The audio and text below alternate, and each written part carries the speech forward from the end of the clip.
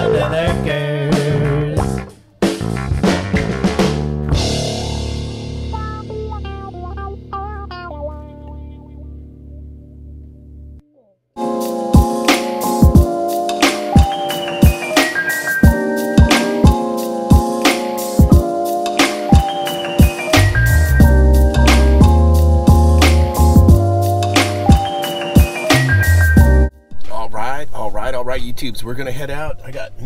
Ice maker maintenance. I got a three three ice maker maintenance and a walking box maintenance, and we'll break out those new uh, those little tiny gauges from Elitech. Check the app out, run through it, see how it works, see what it looks like, see if we can input temperatures for subcooling and superheat, and you know, just go through the, the basics. Let's get out there.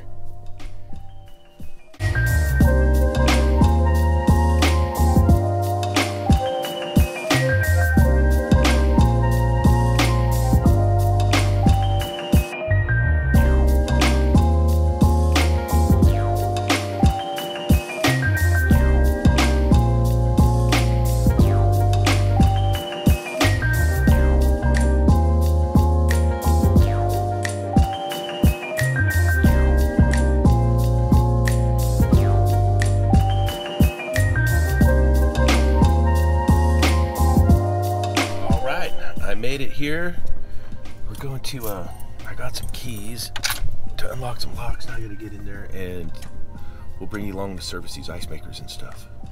Should be pretty good. Let's check it out. I just got in here, so I got a Hoshizaki right there. I got this Manitowoc. You guys remember this one? This one is the one that came factory overcharged. It's time for some maintenance.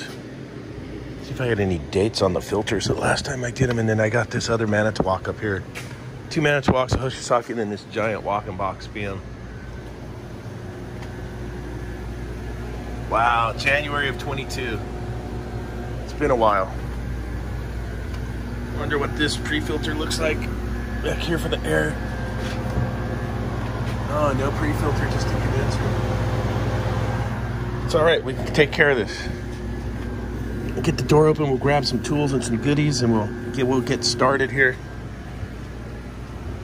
So I always like to see how any space in a place becomes storage. We got tire iron, bracketing, and a nice rubber mallet for storage up here. Vaughan, Vaughan's good stuff. Remember Vaughan hammers? Um, yeah. Okay. All right, first one up for bids. Not super bad. but definitely needs the scrubber dooski for sure. But not super bad at all. So we're gonna rip this apart and get cracking. Went ahead and pulled the float out. It had some scuzz in there. That one always gets pluggered.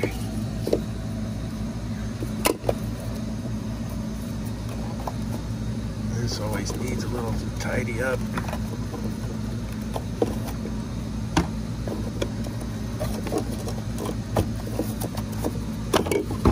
Get this out of the. Mmm, tasty. Is what it is, man. All right. We're going in for it. Wish me luck. Look at this.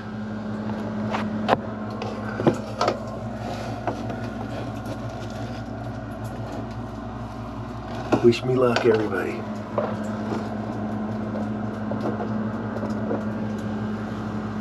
We'll see if we can make some headway with this thing. The pink, the pink ice maker sump pan special. Mmm, look at that. Now that is a good one.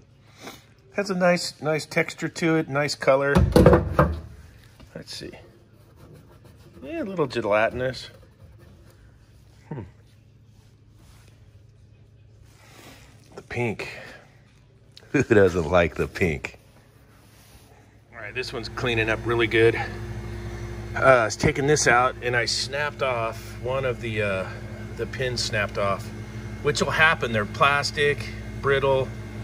Get a stainless steel. Uh, I got a stainless steel screw with a nut and then another retaining nut, and uh, just make sure that it'll slide through freely um, on the bracket and you can get yourself a workaround on those. I can't tell you how many times I've snapped those. Sometimes I'll replace it with the new one. I don't have one on the truck and there's nothing wrong with that one. So just like a little upgrade. This guy's all tidied up, back to making ice. This one's gonna drop its first batch. It's back together, all cleaned up. Almost done with this one. And then we'll break out the toys and we'll service this walking box and we'll take a look at it. There goes cycling on right there. And uh, we'll see how the uh, those new little tiny Tech gauges work. It'll be my first time using them. I had ordered some uh, shorter hoses for those. They haven't came in yet, so I'm just gonna run them with my long hoses that I have on there. And uh, we'll play with the app and see how it works and, and check them out. Here's testing out my little hack fix. Solid right back on there. That's NorCal's tip of the day right there. Because I know that's happened to a bunch of you guys. It happens to me quite a bit too. So that's the fix on that. I have a, a little box of stainless steel hardware on the truck. So it gets me out of a pinch. It sounds like this one's getting ready to harvest. Oh, there it goes, right in the harvest. See, specially calibrated ears, Super Tech. All right, there's our evaps. Fans are running low speed because there's no call for cool right now. Um, see how dirty these coils are getting. I'll get my ladder, we'll jump up there and, and we'll clean out these coils.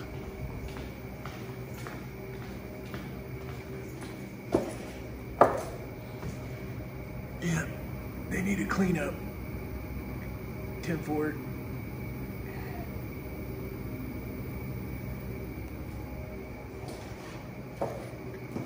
Let's see if I can remember where the circuit was.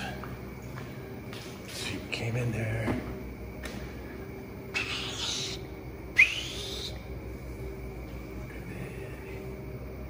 Came over the top and went to the breaker panel on that side.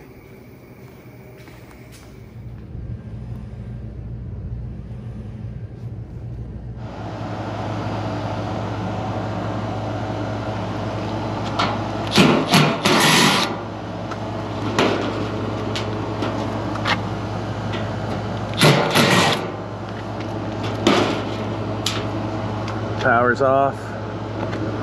Let's see what we're getting into here. Basic stuff, we got control fuses, we got our contactor, and we have our capacitor for our condenser fan motor. And we have defrost timer. That's pretty much it.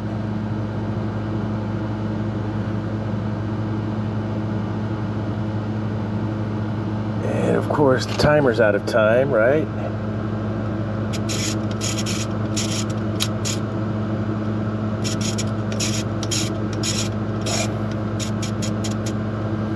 See what we got.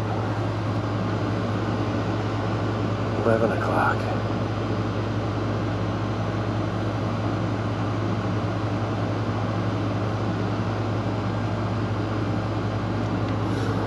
So 11 o'clock.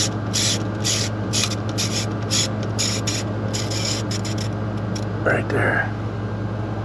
We're set up. I got the coil washed on this. Um, I got the evaporators cleaned out and then so next all we got to do is uh, we're gonna fire this thing off we'll check the contactor we'll check the capacitor then we'll fire this thing off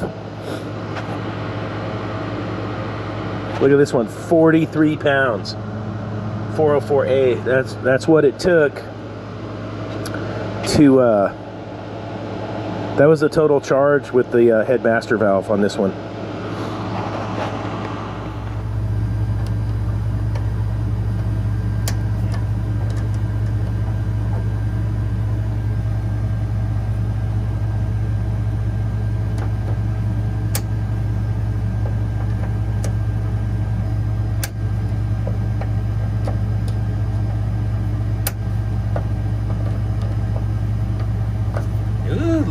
goosey right there.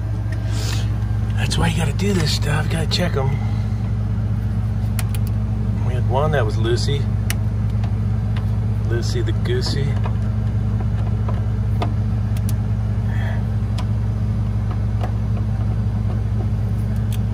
That one's loose. That one's nice. Loose. Oh man.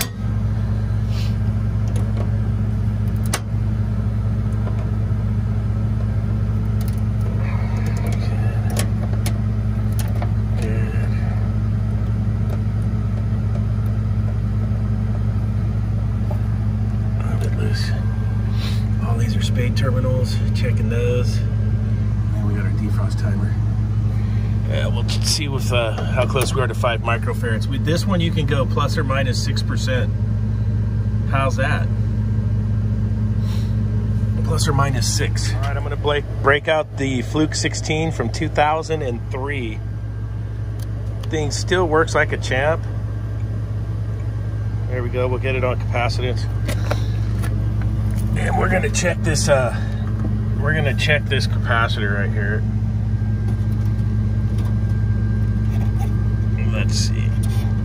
We got the LA Rams on one side, blue and yellow, and then of course the shitty ass Cleveland Browns on the other. And we'll see what we get for a reading here.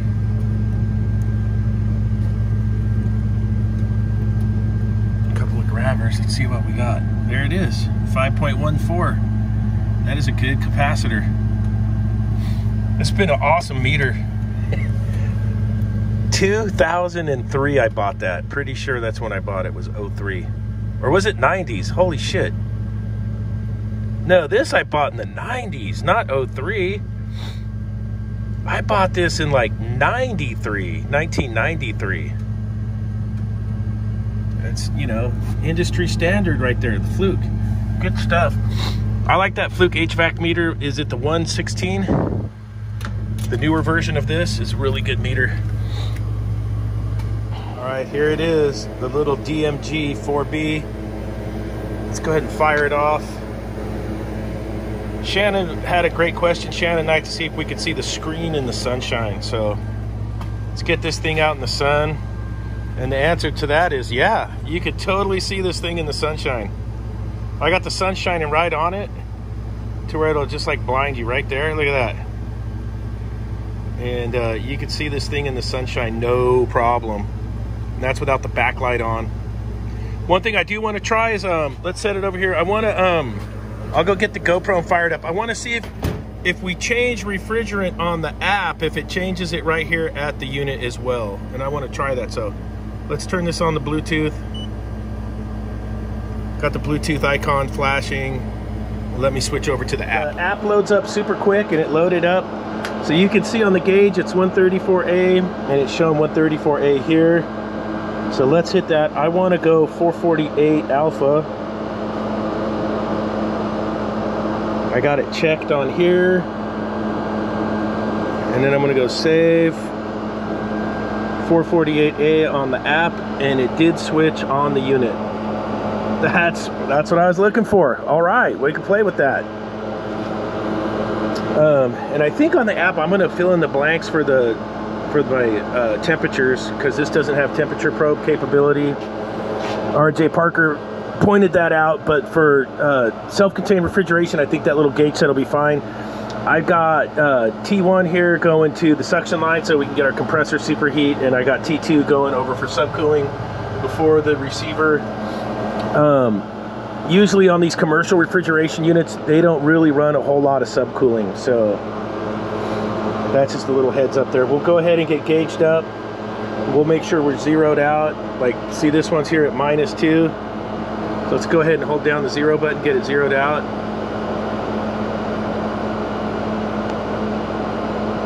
Come on, zero me out. There we go, zeroed out. We're ready to get this thing hooked up and start up. I'm also, uh, at the same time, I'm adjusting my bridge thickness on that ice maker.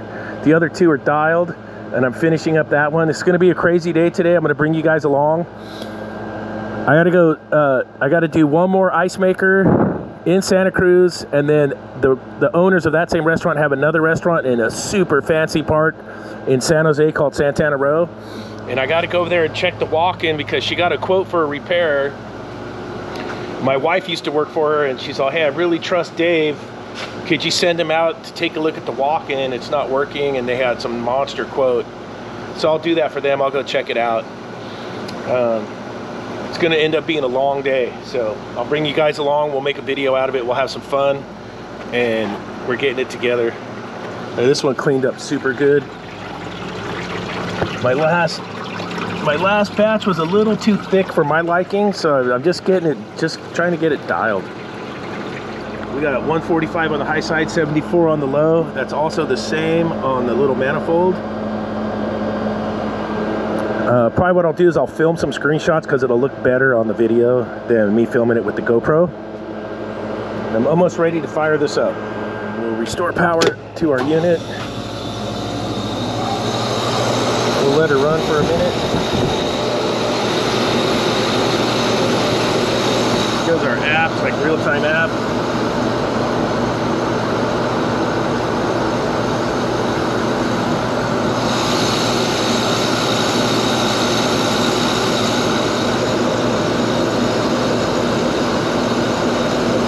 So that's showing our pressure, our evap temperature, and I think it's gonna let me input my line temps to get my superheat and my subcooling, which let's let it run for a bit.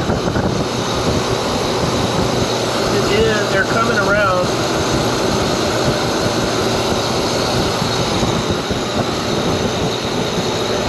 And I don't think it's gonna run for a long time on that box, so yeah, 59.5, 59.3. You can see how low the condensing is.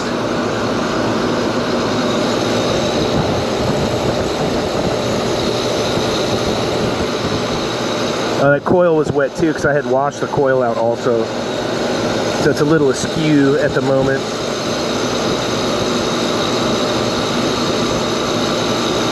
Twenty-three point two. Let's do this. We'll get filmed some screenshots. All right, let's try this. We'll type in 55.9 right here. See if it'll let us. 55.9, okay. That gives me a superheat of 32.7 and on the subcool 69 degrees. That's showing 13.6 subcooling. I did, that coil's wet as a drum. Um, that's why my head pressure's low.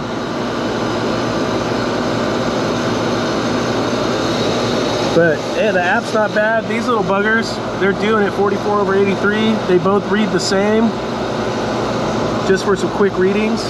Not two shabbins. Let's readjust our superheat. 53 degrees. 53 degrees, let's try it. 53.0. right in the wheelhouse at 31.6 minimum compressor superheat. I'm looking for is 20 so I'm good there. I'm dropping. The liquid line went up to 70 that makes sense. 70.0 okay. Here we go.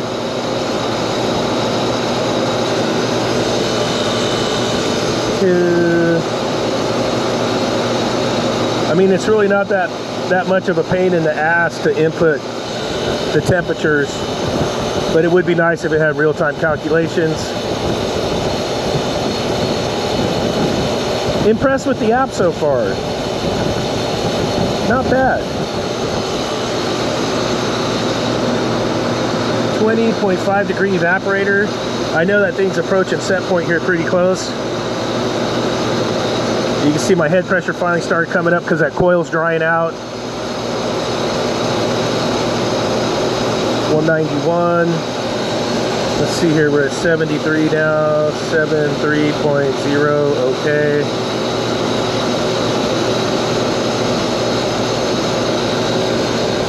Fifty-one point two, fifty-one point two, okay. Yeah, thirty point seven. Superheat at the compressor.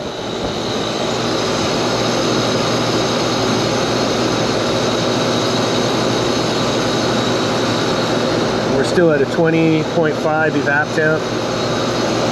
This is easy on the ice for me. I like the layout of this of this little app. So here, 74.8. Yeah, it's falling more in line now that the coil's drying out. There we go, 75.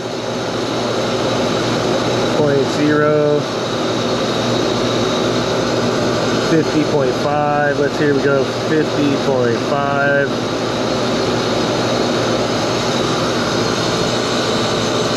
Yeah, you can see our liquid line starting to warm up now. There we go, 76.1.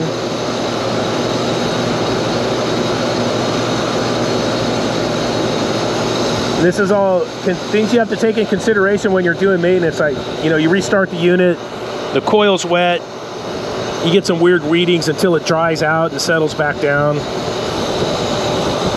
Let's see, suction line now is at 50.5. Let's see here. Oh, yeah. I think that's what we were at. So it's starting to settle in pretty good.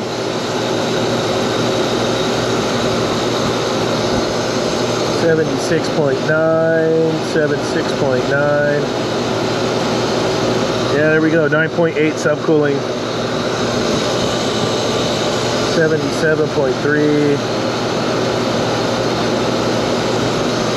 Yep, 49.6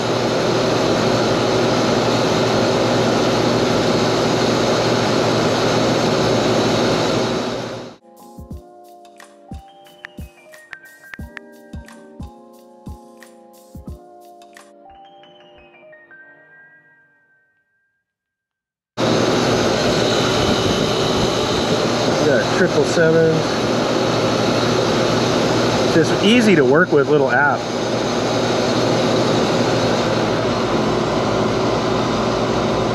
Super basic right there. You get your pressures and your temperatures. Not too shabby. Not too shabby. We're off. We're at 10 on the low side. We're all pumped down and at set point, looking good. Be careful of that fin while you take off your clamps.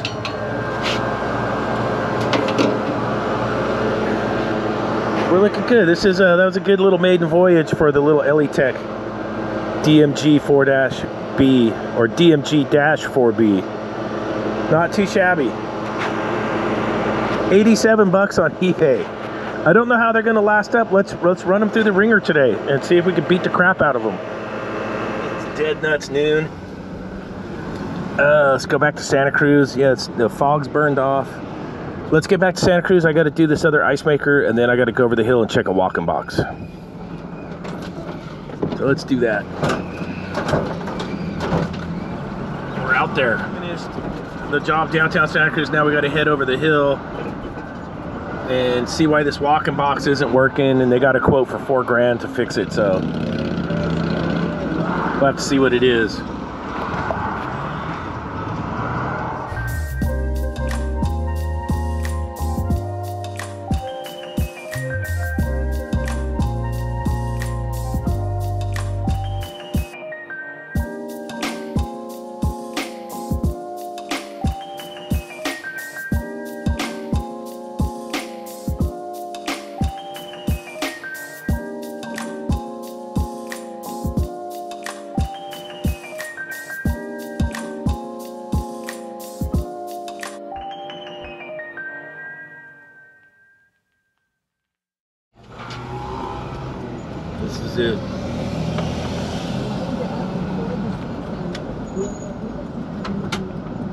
Melrose Place of the Silicon feet, Valley Turn right onto Tatum Lane. Yeah, I want Tatum. Supposedly at Tatum there's a garage I can park in that takes me to the back of the kitchen.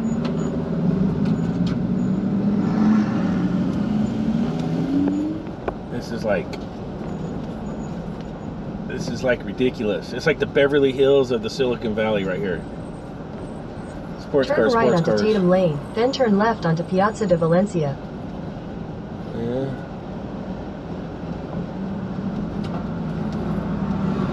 This is nuts.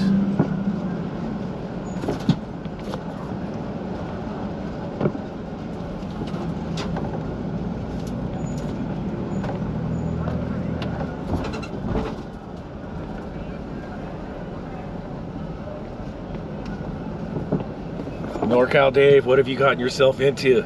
All I know is the Van Gina is cruising the strip right now. And we're gonna go look at a broken walk-in box. All right, here we go. That's the garage I want to get into right there on the left. Turn left onto Piazza de Valencia, then your destination will be on the left. That's what Servando said. He said to go in there and park by the trash cans. That's what he told. He told me to come in here and park by the trash cans. Let's see if I can pull this off. All right, I think I found it. Drop top unit, capsule pack, hot tamales. Oh yeah, the beer's got ice on them. Thermostat, coil. Sounds terrible up there.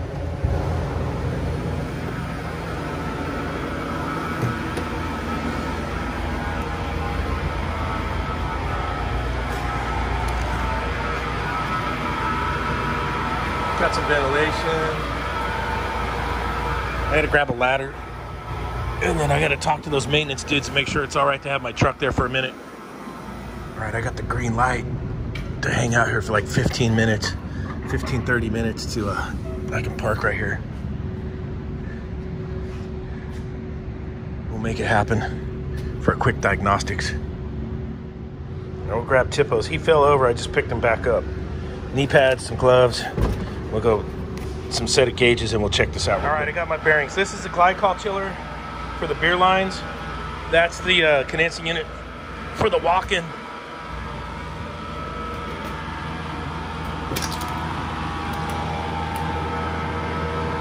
Let me get this lid off.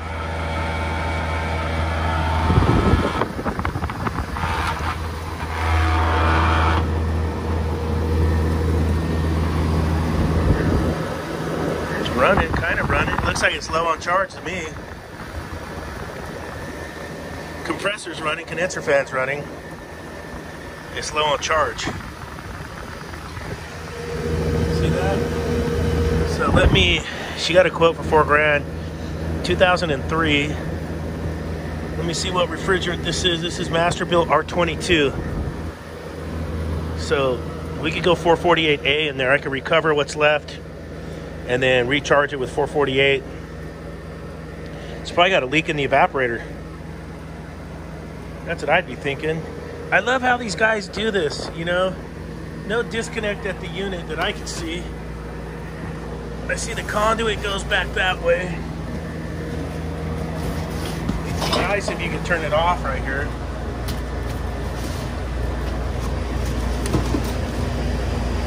Yeah, there is. There's a switch right there. All right, very good, very good. Okay. Now what I'd like to do is take a look.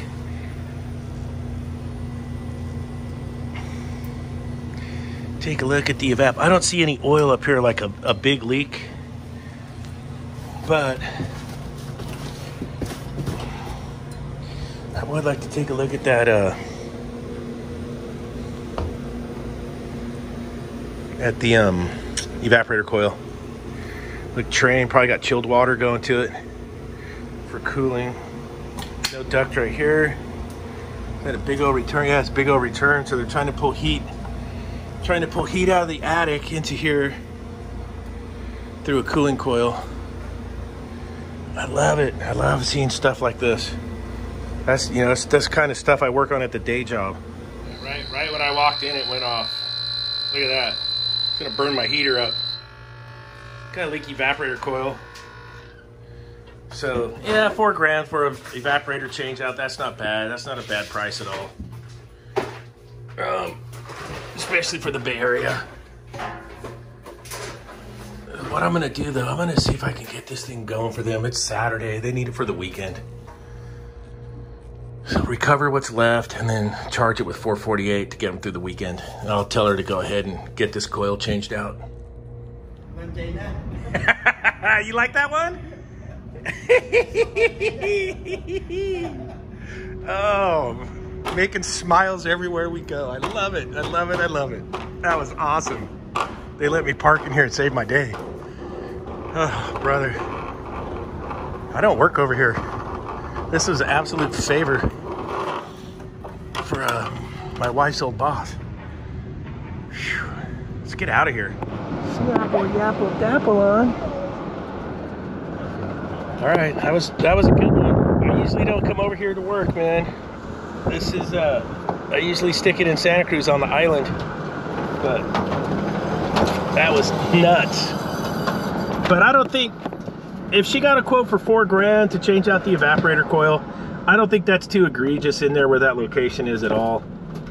You can have two guys in there working all day, plus the parts, dryer, TXV, thermostat, all that. That's not a bad price, I told her. I'm not, I don't, I don't have time to come over here and do it with the day job and